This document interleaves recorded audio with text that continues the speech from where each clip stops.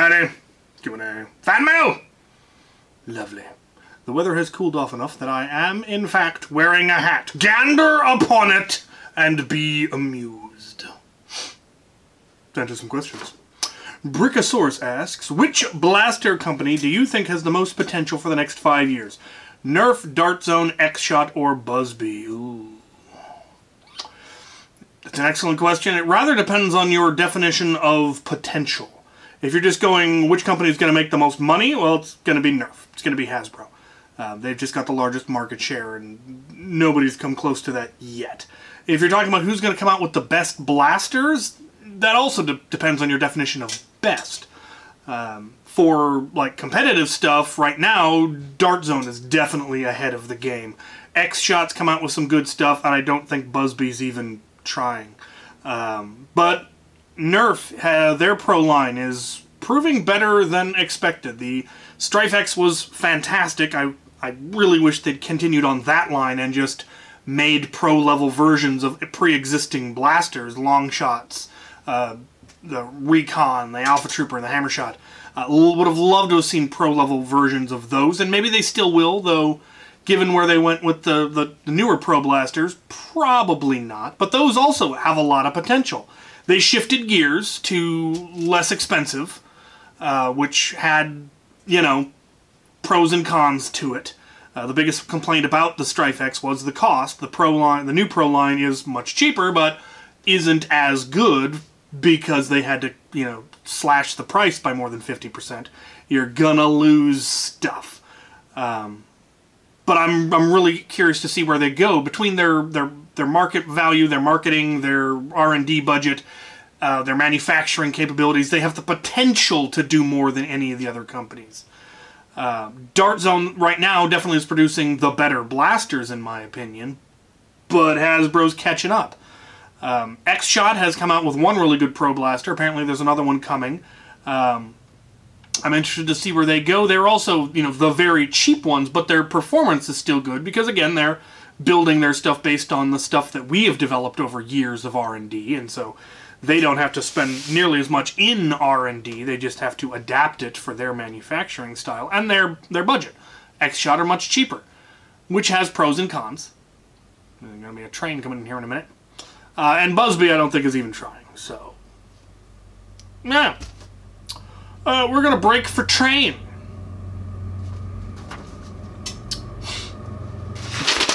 On with the question. Random idea generator. Have you ever seen Stargate SG-1 and or Atlantis? I have seen several seasons of Stargate SG-1. Didn't ever finish it. But I enjoyed it. Cullen Veneman. Would you have any ideas on how to print chainmail? So most of the chainmail that I have seen printed, they they printed a raft. So you end up, you print a layer of 3D filament that you then print on the rings onto that. Um, most slicers have an option to add a raft when you do the um, supports. Uh, and that is what I think uh, prevents it from detaching from the the base because of how little surface area each ring would have on the surface because it's printed at usually a weird angle. Um, yeah, I think what you need is a raft. I could be wrong, but that is what I, I seem to recall always seeing. They're always peeling it off of a raft. Uh, and I think that's the term for putting down a layer first. Linker, would you require, what would you require in a shotgun to be war practical as a primary for you? For me, it would need to be fun. That's the primary requirement for uh, anything. Um, practical, war practical is, is a nebulous term. It, depends on what you're trying to get out of it. But um, for our wars, is that another train already? So our wars uh, are uh, generally 150 FPS. Um, so you'd want to get somewhere around there just so you can actually hit something. Now, if you were playing it at like in my arena where it's all CQB, you could get away with a lower FPS as long as it has a good spread. Um, typically, you're going to want to fire at least three rounds, possibly more if possible. But when you get up past three rounds, unless and well, you could probably do six half dart depending on it. Um, it starts taking up a lot of like the shells take up more room, and that's the other thing is capacity. it you know you're going to need enough capacity so that you're not having to reload shells after every couple of shots. Um, I'd love to have something magazine fed. I'd love to have. I would want it to be pump action. It would need to be you know relatively reliable. Uh, I do have a couple of the Colonel Wasps, um, Fireflies, Colonel Wasp Fireflies. Uh, I do have a pump. Uh, they're both pump action. One of them is magazine fed. I haven't had a chance to actually run them. I would love to at some point. Uh, in my arena, I can use the 50 cal rounds, and there you can fit I think three or four of them in each shell, and uh, so that's decent, and it gets decent performance. And again, in my arena, it's short range, so I'm not terribly concerned about the the performance. Um, it's something like Borst. The biggest problem with most shotguns, or a lot of the shotguns, is the shell ejection is, while neat, it does make it a little bit easier to reload. Um, it is a logistic nightmare. You have to carry the shells, you have to pick up the shells, you have to reload the shells, and then you load the shells in. Um, it does allow you to have a variety of ammo types, which is neat, less useful in most wars.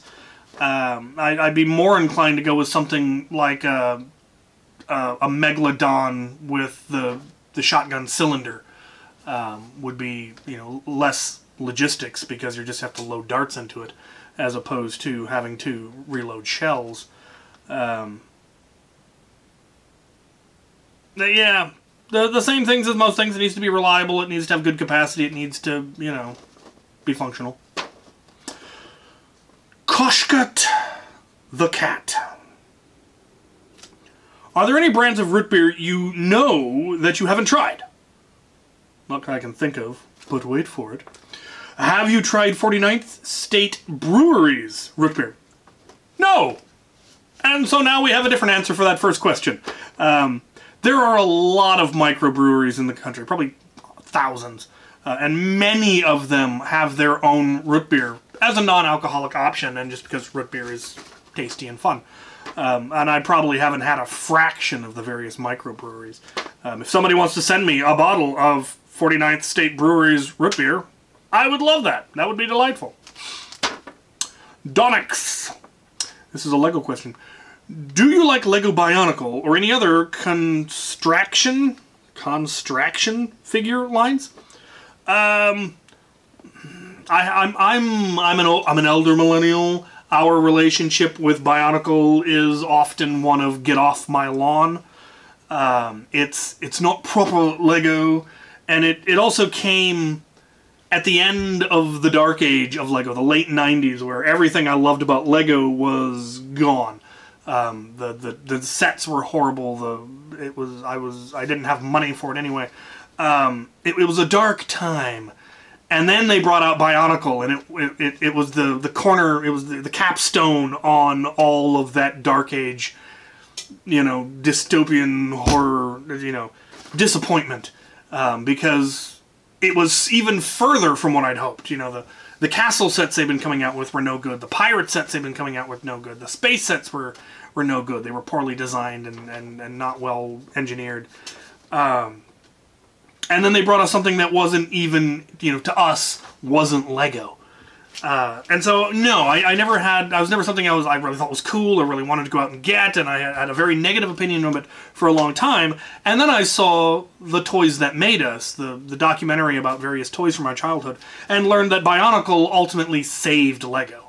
That Lego was on the verge of going bankrupt. They almost had to sell out to Mattel uh, and they made one last attempt to turn it around, and Bionicle was one of the things that saved them because it was entirely in house. They weren't paying royalties on it. They could market it however they want, they could do whatever they want with it. And it did really, really well. You know, they had TV shows and movies and comic books and toys and merch and backpacks and masks and all of that. It was they were able to market it very, very well, and it ultimately was one of the things that saved the company. And so I have a, a deep appreciation for Bionicle, but I still don't have any interest in Bionicle. So that's my that's my relationship with Bionicle.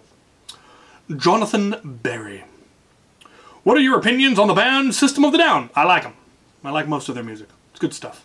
Weird, but I like it. CSG Epic. Will you make any more Drain Blaster builds? Probably. I've got one I've been meaning to finish forever, and now I have better technology to do it even better. I might not use a drain blaster now, though. I might use something else. Because now I have a better understanding of things like solenoids, motorized pumps. Shiny Sylve. Tips for physical training for Nerf games. Cardio? Probably cardio. I'm not the one to ask. Look at me. Hardly the uh, pinnacle specimen of Nerf physique.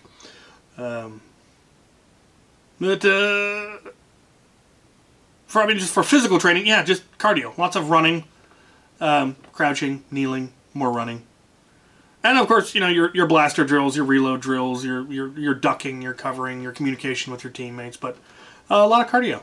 You're gonna need you're gonna need cardio. Hindle poons. Being left-handed, do you find any tools awkward? And do you have any specifically left-handed tools? I really only have one specifically left-handed tool. I do have a pair of left-handed scissors, uh, which Sergeant Deplorable recently uh, attempted to use. I had, he asked for scissors. I gave him scissors. I didn't realize I'd given him the left-handed ones, and he found it incredibly awkward, which was very fitting, as what us lefties have to deal with all of our lives.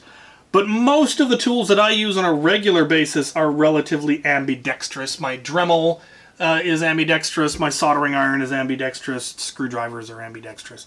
Um, I do have some power tools that are a little bit uh, awkward. I, my circular saw is decidedly right-handed, and it's a little bit um, angle grinder. I think I got an angle grinder, and that's also distinctly right-handed for a variety of reasons. Um, I've seen all kinds of st statistics on how many lefties are injured each year by right-handed, by equipment that's designed to be right-handed. I don't know how much that's true. It's probably apocryphal, but um, I have run into situations where it was kind of awkward. But as you know, being left-handed and being in a right-handed world your entire life, you tend to adapt for the most part. Uh, there's a lot of things that I can do almost as well right-handed as I can left-handed, just because it's you kind of have to. Um, but it, it is a thing. It is a thing. I always appreciate when people take the time to make sure that their blaster design is ambidextrous. Uh, and some people do, and some people don't, and sometimes you can't, and you know, uh, yeah. Ha ha! Oh, I hit the stand, but all right. Let's get to the package. I have several that I believe I know what they are, uh, and two I have absolutely no idea. I got one from a country I'm not sure I've ever gotten stuff from before. The first three are from the Amazon Distribution Center, and I'm reasonably certain are is happiness being sent to me by Sparky the Saint, Sparky Santos. I don't know how he keeps finding more Chima. It hasn't been made for decade, and yet he still finds more. I don't know that he sent me this one before. That's pretty cool. That is pretty cool.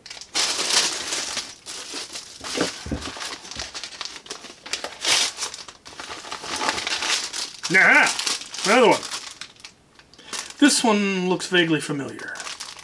Bird people. The whole army, pretty much, of the Chima at this point, or at least I should make them into an army. And one more.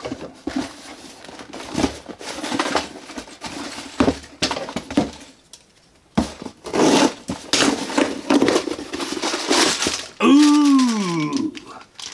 Oh, now that one's cool. I did not have that one flamey firebird looking character. Sweet. Frax. Ewar and Windsar. Hmm. Cool. Very cool. Thank you, as always. I always appreciate a bit of happiness. Alright, I have a package here from Captain Shotgun. We need to get on uh, get off my lawn at some point. I think we've got our next one lined up and then uh, then we might have an opening. Good lord. All kinds of stuff. Just, just acres of stuff. And a note. Well, Captain, I hope this package finds you well. I enjoy having you on my live stream. I hope we can do it again sometime. In the box, I've included the free X-Shot uh, bolt action reshell kit that I received by accident from Maritime Foam, who refused to let me pay for the parts. I thought I would pass it on to you. I know you don't get... Uh, you don't like bolt uh, right-handed bolt action, so I thought you may want to pass it on to a crew member. I probably will. I also included a few other goodies that I hope you enjoy. I appreciate everything you do for the hobby. You are a huge inspiration to me and my channel. Having you on my live stream was a big deal for me, so I thank you again for being such an such an inspiring and kind person. Enjoy the rest of your day. Your friend, Captain Shotgun. Well, you are welcome for everything, and this this is lost. What do we got here? Here. We have a Fire Strike uh, with no AR. Very nice, very nice. Now look at that. That's neat. very cool, very cool. A copper pistol, minimized. Very nifty. Well, no doubt, need to look up how exactly this is put together.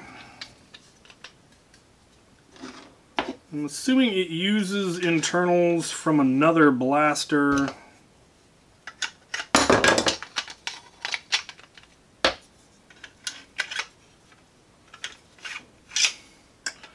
Alright, there's the bolt. Where this goes.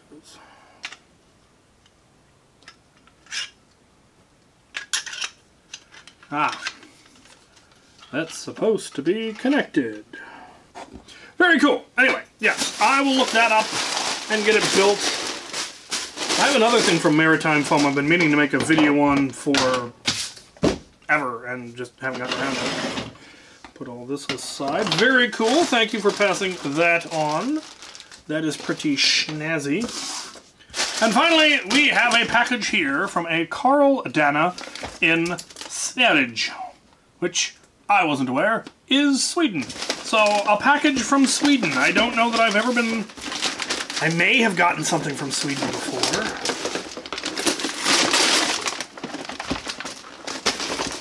A note! Good stuff!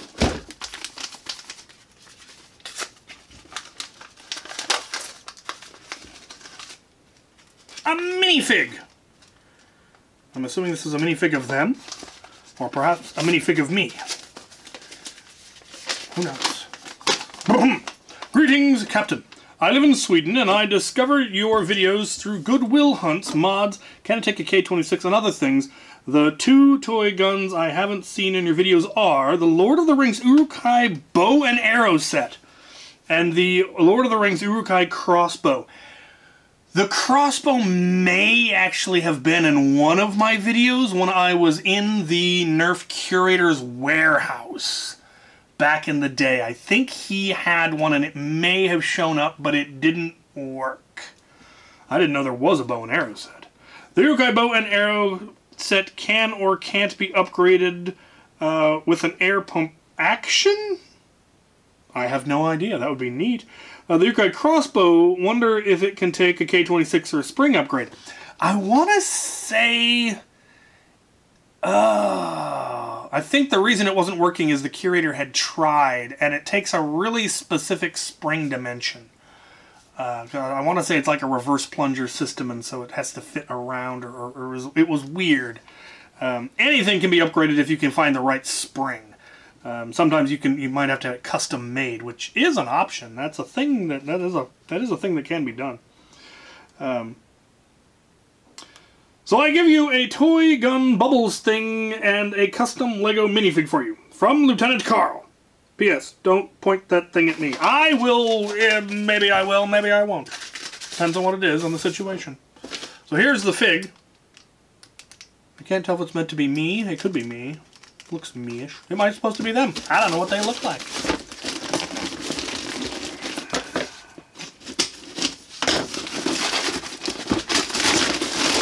We're in. Aha!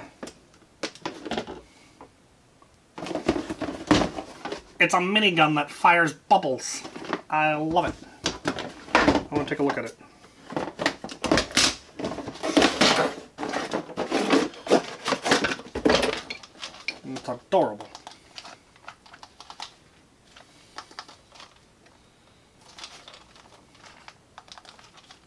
You know, I've seen Buzzbee blasters that had less comfortable grips than this. That's that's not too bad. No, you have to, yeah, yeah. yeah just dunk it in there and bird and bubbles. I have an idea for it. Need to get around to making that video. Alright, as always, you spoil me, you're wonderful, you send me the best stuff, and I appreciate it. If you want to send me something, mailing address is down in the description. If you want to ask a question, ask it on the comments of this video. That's where I pull the next video's questions from. And as always, thank you guys for watching.